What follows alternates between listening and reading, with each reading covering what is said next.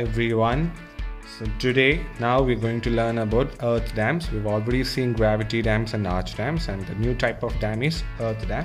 And if ever you are using some earthen material to construct the dam, maybe combination of a clay, silt, sand and everything, you're constructing a dam with earthen materials or whatever you're having are earthen materials.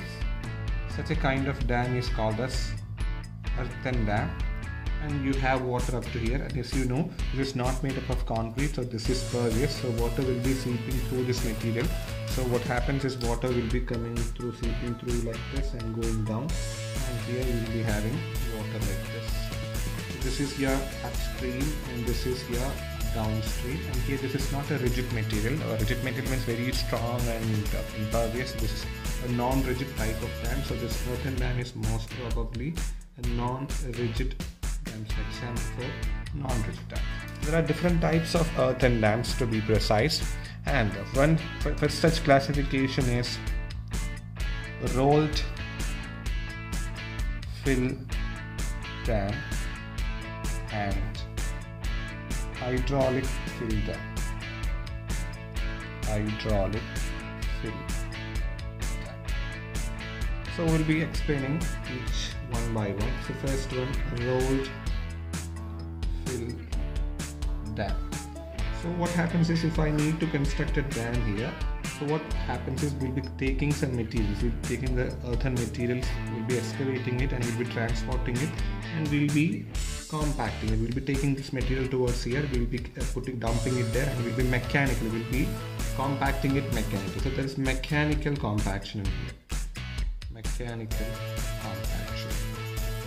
May be done in layers, maybe just one layer. And after compacting this layer, you'll be putting other extra material. Again, you'll be mechanically com compacting it.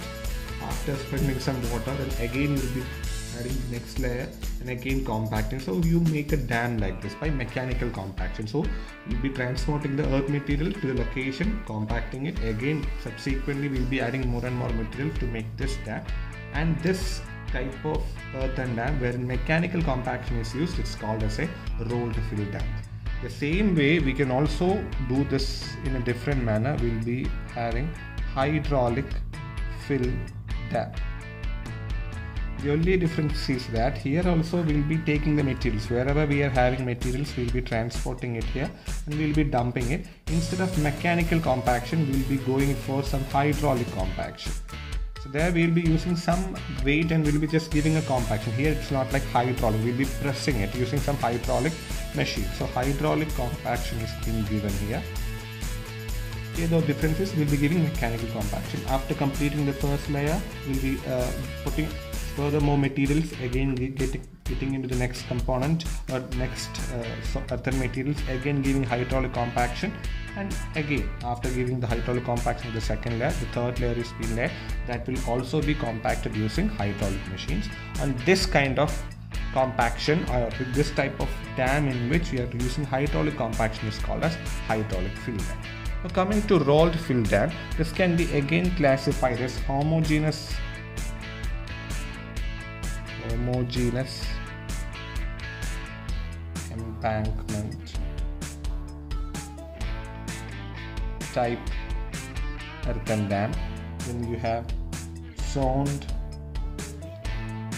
embankment type earthen dam and the last one is diaphragm embankment type so the rolled fill dam can again be classified as three homogeneous embankment type, zoned embankment type, and diaphragm embankment type. So those are the different types. So we'll be explaining this one by one. The first type of rolled fill dam is the homogeneous embankment type dam. So you have just one material. Homogeneous, as the name suggests, you'll be having a homogeneous material. The pure homogeneous type will comprise only one kind of earthen material, only one kind of material. If you're using stone, we entirely using stone. If you're using some other material, you'll be using only one type of material. There's not a there's no combination of materials. Only one kind of material is used. So this where what is, is stored is the upstream. So as you know, it's not at all uh, rigid thing. So water will be seeping down. This is the seepage line like this and water will be going like this. And this line is called as the phreatic line. Above the phreatic line there is no seepage see here at this water surface the pressure acting there will be atmospheric pressure. Along this phreatic line also the pressure acting will be phreatic um, atmospheric pressure. Along this phreatic line the pressure acting will be atmospheric just like the way here it is because it is exposed to atmosphere. And that's the way and a modified type of embankment type homogeneous type is there. You have the embankment like this water is stored. And in order to have a better seepage of water you will be providing filter horizontal filter this is called as the horizontal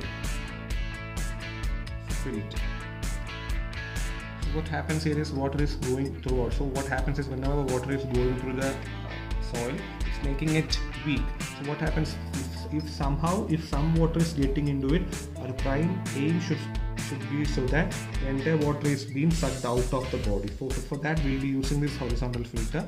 So what happens here is the water here will be getting into here and this much portion will be taking up water. So this much portion is free of any seepage so here what happens?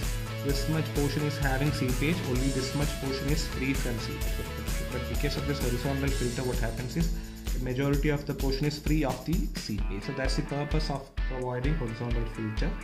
And that's how it works. So this is a type of homogeneous and this is the modified homogeneous. Modified homogeneous embankment.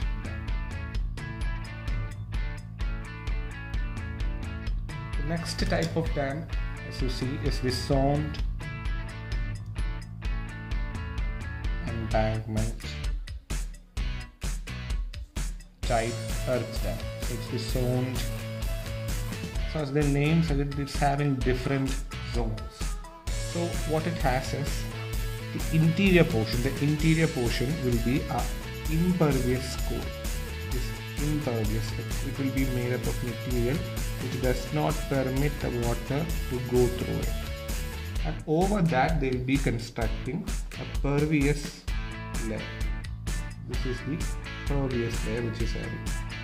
So this is how zoned type of earth and land and water will be there and it will be stored here and we have interior core that's quite uh, impervious and the outside it will be a pervious shell. So whatever material we are using in the shell it will be pervious it will be allowing water to go through. And see here what happens is there will be some wave action so in order to protect this wave they will be providing some slope protection. So they will be providing slope protection on the upstream side so this is the slope protection that we are providing on the upstream side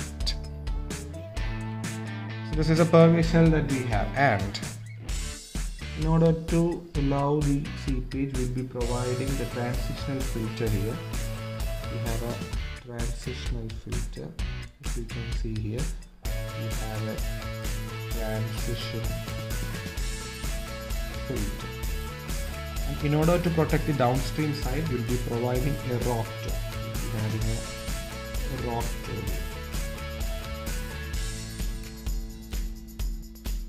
the purpose of this transition filter is to act as a drain and the rock toe will be having large rocky material so it will be having more number of spaces so that water quickly goes out of it. So that's the purpose. So it's a drainage that we are providing in the downstream side with the rock toe and this transitional filter. So that's how a zoned embankment type earth dam looks like.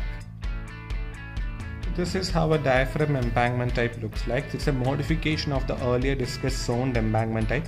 You have an impervious core so we what we do is we make it this very small or rather the thickness is less and this thing is called as or this portion is called as the diaphragm and that will be replacing the core. This is quite impervious and you have a pervious portion here. This whole basement will be made impervious. And above that impervious layer we have a pervious foundation. It will be making the foundation quite pervious and there will be a diaphragm in between. So this, mod, this is a modification and you have a very thin diaphragm in between. So how the distinction between a diaphragm type and zoned must be clearly known because here you have very width is very large but here it is very thin actually. So these are the different types of earth dams that we have homogeneous embankment type, zoned embankment type and diaphragm embankment type.